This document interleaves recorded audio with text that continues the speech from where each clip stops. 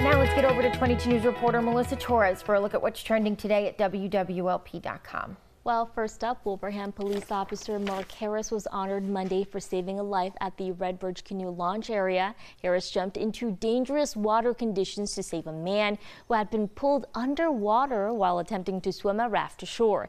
Thanks to his quick action, no one was injured.